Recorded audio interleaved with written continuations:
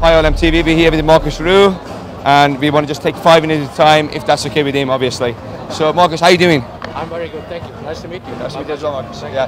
Uh, give us give us some uh, info regarding, you know, how you doing, how's the condition, and tell us about yourself, if you could. Yeah. First of all, say hi to all the people, to all the audience. Yeah, I'm here now. I'm not professional anymore. I mean, I still have my card, but I'm not competing anymore. I just retired two years ago, and now I'm doing just seminar touring.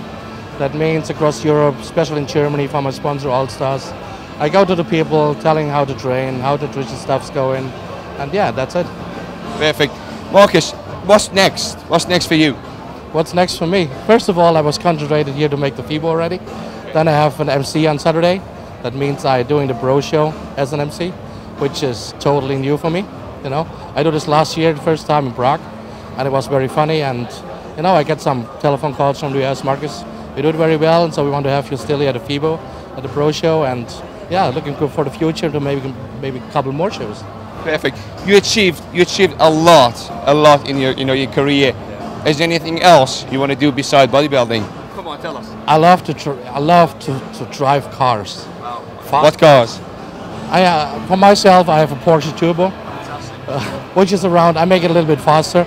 I have around 580 horsepower, and I love to drive on autobahn. You know, in Germany we can drive as fast as we can. So I mean, that's my biggest love next to bodybuilding, driving fucking cars. Perfect. If anything you could tell our viewers today, you know, regarding bodybuilding, the guys who just started basically from the, you know, very A level, I would say. Any advice, any tips? So, you know, they want to just follow your footprints. Just give them some advice. The biggest advice and the biggest recommendation I can give to all the people having fun what you're doing. You know, go in the gym, train, train hard, but have still fun. If you have fun, you will enjoy and you will improve yourself even every more. And then eat well, make it a healthy lifestyle, and then at the end you will reach your goals. That's it. Thanks, Markus. Thanks for your time. I really appreciate your time and all the best and drive fast. Thank you. Thank you. Thank you. Thank you. Thanks, Markus.